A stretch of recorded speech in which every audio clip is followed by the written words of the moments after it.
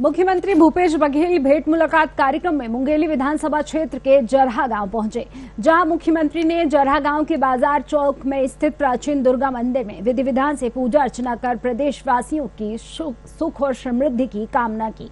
कार्यक्रम के दौरान सीएम ने कहा कि किसानों की माली हालत में सुधार हुआ है।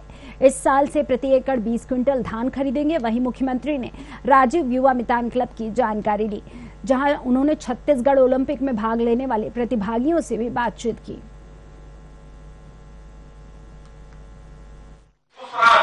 मैं ग्राम रहता हूँ। और मेरे पास पैंतीस एकड़ ज़मीन है। व्यक्तिगत रूप से आपको धन्यवाद देने आया सर कि विगत चार सालों में जो किसानों के हित में काम हुआ है शब्द नहीं है धन्यवाद देने के लिए। और आज हम लोग अपने देश के सर्वश्रेष्ठ किसानों में गिने जाते हैं। गर्व की बात है भारत के सर्वश्रेष्ठ और मैंने दो सौ बीस क्विंटल धान बेचा सर जिसमें मुझको एक लाख तेईस हज़ार दो सौ की बोनस राशि मिली लाख छियासी हज़ार दो सौ चालीस रुपये का पास हुआ।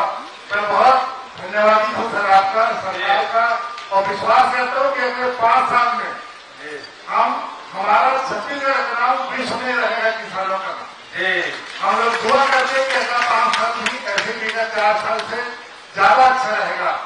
और हमारी सरकार आएगी। धन्यवाद सर। धन्यवाद कृष्णा मिश्रा जी। ने बात की है ना तो किसान मन के माली हालत में काफ़ी सुधार हो हुए खेती तरह किसान आदमी लौटे हैं। रबर पाड़े हैं, किसान की संख्या बढ़े उत्पादन भी बढ़े और वो बात ध्यान में रखते हुए ऐसा